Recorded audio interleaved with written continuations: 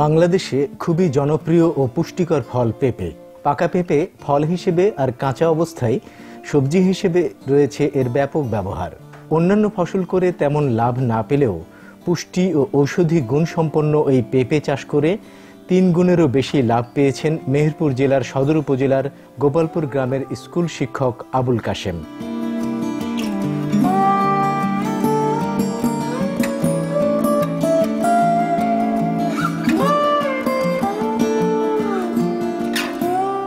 তিনি দুই বছর আগে পরীক্ষামূলকভাবে ছয় বিঘা জমিতে হাইব্রিড জাতের পেঁপের চারা রোপণ করেন আর প্রথমবারই পেয়েছেন সফলতা।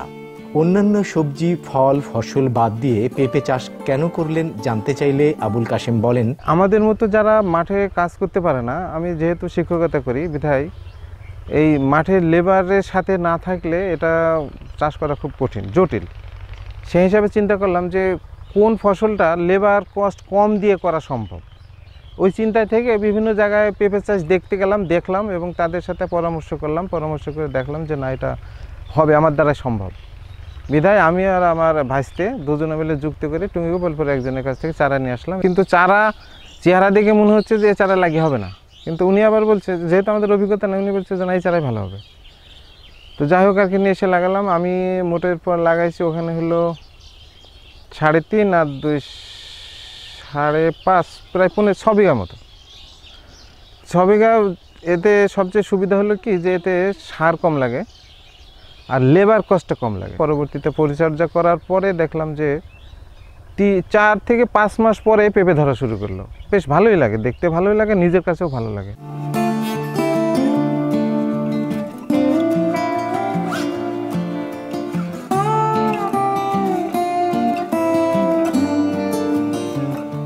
তিনি আরও জানান, পেঁপে চাষ করতে খুব বেশি খরচ নেই।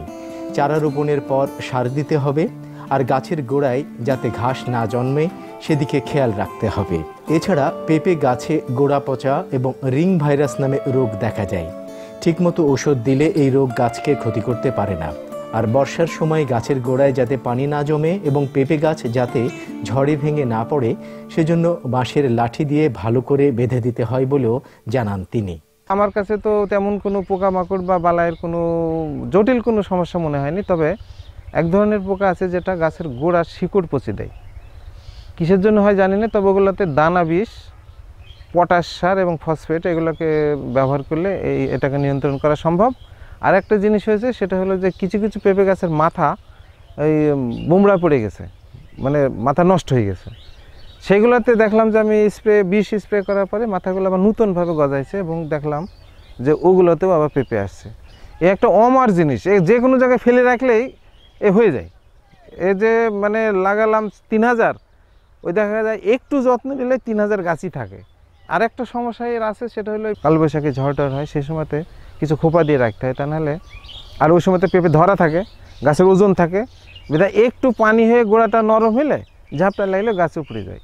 এই ভাঙা ঠেকানোটা ঠেকাতে পারলে মানে মিনিমাম টোয়েন্টি ফাইভ পার্সেন্ট গাছ ওই ঝড়ের সময়তে ভেঙে যায়। আর এটা ভেঙে গেলে পরে কিন্তু আপনারা দেখছেন যে মাঠের জমি অনেকগুলো কিন্তু ভাঙা পড়ে আছে, এগুলোকে আর রিকভারি করা যায় না। ওই গাছ খাড়াই করে দিলে মরে যায়। আর যেভাবে পড়ে আছে ওইভাবে থাকলে কিছু পেঁপে হয়, কিন্তু ওর কোনো সাইজ হয় না, বিক্রি হয় না। আর জমি পরিচর্যা বলতে এই, আমি তো বললাম, আগেও বলছি যেটা সেটা হলো নিড়ানি লাগে না। এই কোদাল দিয়ে কিছু লেবার দিয়ে গোড়ায় মাটিগুলো টেনে দিলাম দেওয়ার পরে দেখা গেল যে ওই কিছু ঘাস আবার জন্মায়।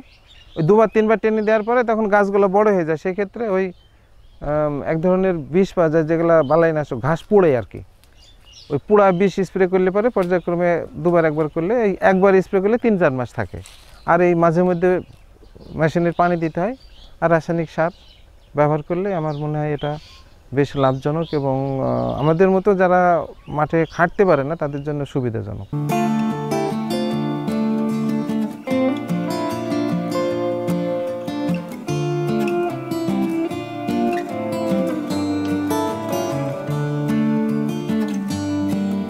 আবুল কাশিম আরও জানান, চারা রোপণের তিন মাস পর থেকে গাছে ফুল আসে, পাঁচ মাসের পর থেকে কাঁচা পেঁপে বিক্রি করা যায় আর সাত মাস পর থেকে পাকা পেঁপে সংগ্রহ করা যায়। প্রতি গাছ থেকে এক থেকে দেড় মন পেঁপে পাওয়া যায়। বিক্রিরও কোনো সমস্যা নেই। ব্যবসায়ীরা বাগানে এসে পেঁপে কিনে নিয়ে যায়। বেচা কেনার কিন্তু খুব সুবিধা। মানে আমাকে দৌড়াতে হয় না। ওরাই এসে বাগান থেকে তাদের লেবার দিয়ে ভেঙে নিয়ে যায়। শুধু আমি এখানে একটা কাঁটা স্কেল আছে যে মাথাকে নিয়ে ছোটো ছোটো স্কেল। ওইটা নিয়ে এসে মাঠে ওজন করে, মাঠে হিসাব নিকাশ করে দিয়ে দিলাম টাকা পরিমাণ। একদিন পরে এসে টাকাটা দিয়ে যাই। একটা দেড় বিঘার হিসাব আমি রেখেছিলাম। ওই দেড় বিঘার হিসাবে দেখলাম যে আমার ওই তিরিশ, বত্রিশ, তেত্রিশ হাজার টাকার মতো টোটাল খরচ হয়েছিল যখন আমার ধরা শুরু হলো বিক্রি পর্যন্ত। ওই বছরে আমি প্রায় তিয়াত্তর, চুয়াত্তর হাজার টাকার বেচাকেনা করেছিলাম। অন্যান্য ধান বা অন্য যে কোনো ফসল, আমার যেমন এই যে সামনে কফি এ মনে হচ্ছে এক সময় মনে হচ্ছে ষাট হাজার টাকা বিঘা, আবার এক সময় নিচ্ছে না। তিরিশ হাজার টাকা তো নিচ্ছে না। এত অল্প খরচ এবং পেরেশানিও কম। বিধায় এটা লাভজনক আমার কাছে মনে হয়েছে।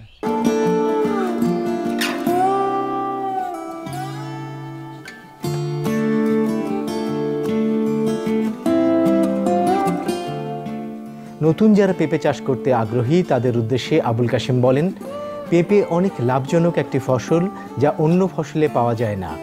খরচ ও পরিশ্রম একেবারেই কম। তাছাড়া কেউ যদি ভালো দাম পাওয়ার জন্য কাঁচা পেঁপে না বিক্রি করে, পাকা পেঁপে বিক্রি করে, তাহলে লাভের পরিমাণ আরও অনেক বেশি হবে।